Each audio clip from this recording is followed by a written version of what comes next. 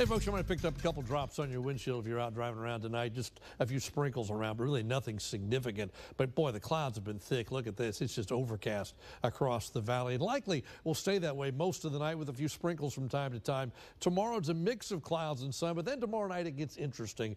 By 9 or 10 o'clock, we'll start to see showers, maybe even a thunderstorm working in from the western part of the valley. Middle of the night, the front comes through. It really looks like the strongest of the storms should stay to the north and west of us, but we can't completely rule out something firing up in the valley. It's still a possibility.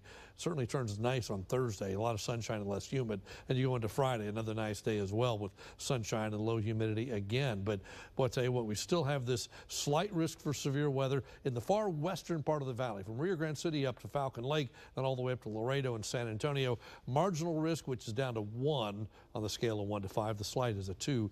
And then non-severe stuff possible in the eastern part of the valley. Again, a slight risk means scattered severe storms are possible. A marginal risk means isolated severe storms.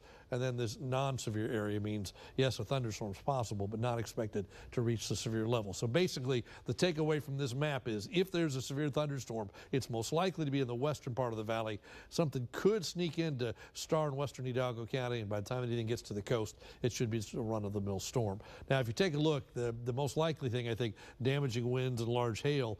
And again, out west, I think that's a possibility. For most of the valley, probably not going to happen. We'll keep watching. And flooding, rainfall, and tornadoes don't seem to be a likelihood. About a 30% chance of those storms late tomorrow night, probably after 10 o'clock at night. Temperature wise, we're all in the mid 70s right now 75, 77, Port Isabel and Brownsville, 75 in Harlingen. Overnight, we bottom out in the mid 70s, so a very mild night across the area. And then tomorrow, back up into the upper 80s and low 90s. Breezy southeast winds at 10 to 20 miles an hour. The normal high is 87. We're going to be warmer than that, 88, and a couple of days at 91 after that.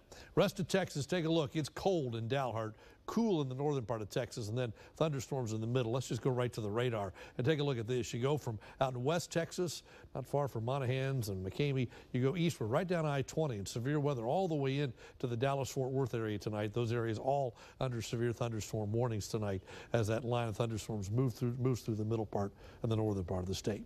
For us then, your First Warn five AccuWeather forecast, mostly cloudy, breezy, low 73. Tomorrow, mostly cloudy, late thunderstorms after dark late at night, early in the morning on Thursday. By Thursday afternoon, we're back to sunshine, less humid. A lot of sunshine on Friday, low humidity as well. High temperatures stay near 90, but watch the nighttime lows. They go down. That means pleasant evenings, cool mornings, a lot of sunshine during the daytime. We'll keep an eye on that stuff for tomorrow night. That's your updated First Warn 5 forecast.